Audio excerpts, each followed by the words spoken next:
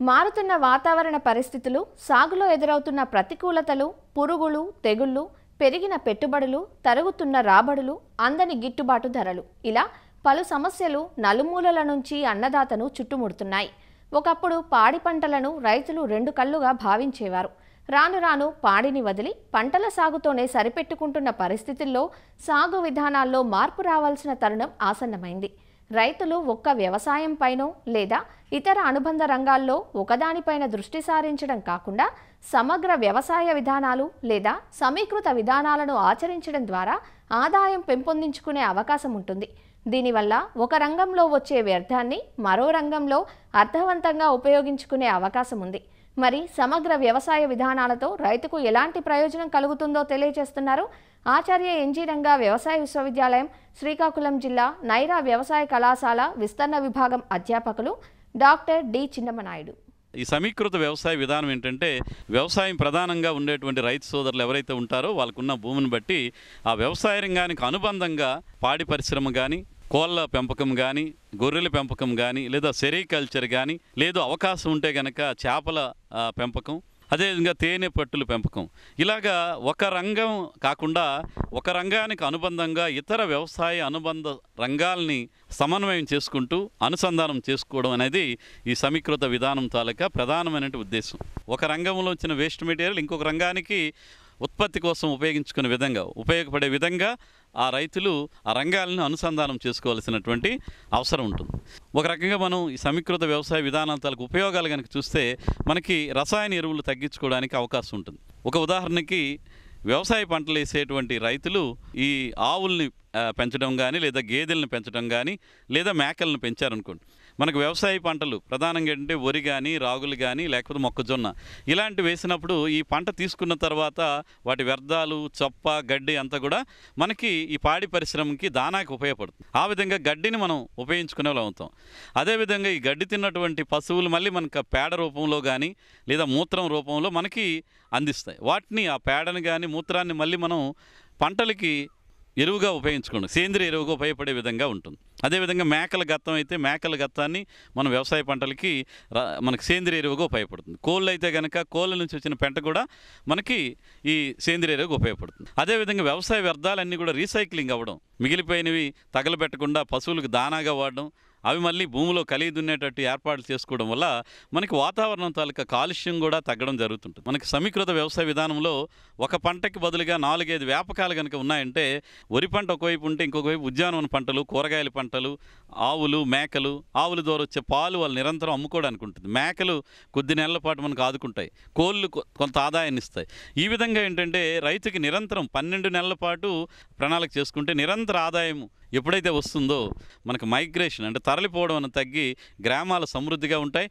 కాబట్టి ఈ సమీకృత వ్యవసాయ విధానాల్ని వాళ్ళకున్న వనరులను బట్టి అవకాశాలను బట్టి మాత్రమే నిర్ణయం తీసుకోవచ్చు. ఎవరైతే ఈ వర్షాధార మెట్టు వ్యవసాయం చేస్తారో అలాంటి ప్రాంతాల్లో ఈ సమీకృత వ్యవసాయ విధానాల తాలూకు ప్రాముఖ్యత ఇంకా ఎక్కువగా ఉంటుంది. ఒక ఉదాహరణకి ఒక హెక్టేర్ అంటే ఒక రెండున్నర ఎకరాలు ఉన్న రైతు ఉన్నాడు అనుకుంటే ఒక ఎకరన్నర వరకు వ్యవసాయ పంటలు వరి కానీ రాగులు కానీ ఆహార ధాన్యాలు తినడానికి వేసుకోవచ్చు. ఇంకొక అర ఎకరాని ఉద్యానవన పంటలు. ఆయన కనుక నీటి సదుపాయం కొంచెం ఉండి అక్కడే ఈ ఫామ్ పాండ్స్ అంటే నీటి కుంటలు ఏర్పాటు చేసుకొని వర్షం నీటిని దాచుకొని కొద్ది విస్తీర్ణానికి నీరు అందించగలిగితే కొద్ది ఒక పావు వరకు కూరగాయల పంటలు ఇంకొక అర వరకు తోట పంటలు. అదేవిధంగా ఇంకొక ఇరవై ఐదు శాతం ప్రాంతాన్ని పాడి పరిశ్రమకు సంబంధించిన పశువులు పాక లేదంటే గడ్డి జాతులు పెంచుకోవడానికి ఇంకో పది సెంట్లు అలాగే కోళ్ళు పెంపకానికి ఒక నాలుగైదు సెంట్లు ఫామ్ పాండ్ అంటే వర్షపు నీటిని దాచిపెట్టుకోవడానికి దానికి ఒక పది సెంట్లు స్థలం.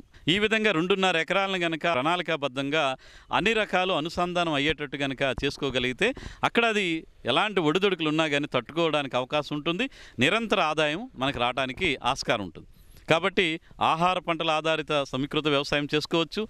ఉద్యానవన పంటల ఆధారంగా సమీకృత వ్యవసాయం చేసుకోవచ్చు. మనం ఒక అంచనా ప్రకారం ఒక హెక్టార్లో ఇలా చేసినప్పుడు ఒక రెండు ఆవులు పది గొర్రెలు యాభై కోళ్ళు ఈ విధంగా కనుక ఒక రైతు వాళ్ళకు ఉన్నటువంటి ఆ వ్యవసాయ భూమిని రకరకాలుగా వనరులు ఉపయోగించుకోగలిగితే వాళ్ళకి నిరంతరం కూడా ఆదాయం వస్తుంది.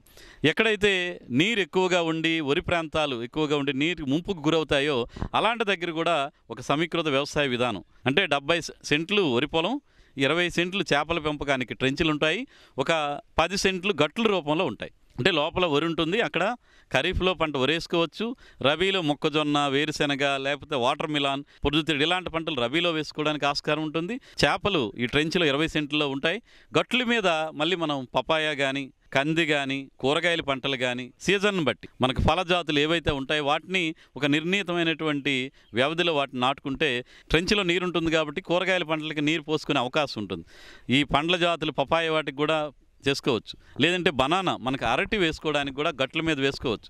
ఈ సమీకృత వ్యవసాయ విధానాలు ఎక్కువగా చిన్న సన్నకారు రైతులకే బాగా ఉపయోగపడతాయి. ఇంకొక విషయం ఏంటంటే ఈ వ్యవసాయ పంటలతో పాటుగా మనం తేనె పెట్టెల పెంపకం కూడా తేనె పురుగుల పెంపకం. ఇవి కూడా మనకున్నటువంటి రెండున్నర ఎకరాల విస్తీర్ణంలో పంటలను బట్టి రెండు తేనె పెట్టెలను కనుక పెట్టుకోవటం. వీటి వల్ల ఏంటంటే తేనె పురుగులు మనకి తెలుసు. ఈ పంటల్లో ఈ ఫలదీకరణం జరిగి మంచి దిగుబడులు గింజ తయారవడానికి ఫలదీకరణం బాగా జరగడానికి మనకి సహకరిస్తాయి. అదేవిధంగా ఈ తేనె పెట్టెల ద్వారా మనకి తేనె కూడా బయటకు వస్తుంది పంట దిగుబడులు ఒక పది పదిహేను శాతం పెరగడానికి ఈ తేనె పురుగులు మనకు సహకరిస్తాయి. అదేవిధంగా సెరికల్చర్ అవకాశం ఉంటే సెరికల్చర్. కాబట్టి ఈ అనుసంధానం చేయడం అనేది రైతు ఆలోచనకు తగ్గ చేసుకోవాలి. వీటి మీద ఇంకా అవగాహన కావాలనుకుంటే మన కృషి విజ్ఞాన కేంద్రాలు వ్యవసాయ శాఖ ఉద్యానవన శాఖ అధికారులు మీరు సంప్రదించాలి. భారతీయ వ్యవసాయ పరిశోధనా మండలి అదేవిధంగా వ్యవసాయ విశ్వవిద్యాలయాలు కూడా వీటి మీద శిక్షణలు కూడా ఇవ్వడం జరుగుతుంది కాబట్టి రైతులు ఈ ఏక పంటలు ఒకే పంట కాకుండా సమీకృత వ్యవసాయ విధానాల్ని అవలంబించడానికి ప్రయత్నం చేయాలి.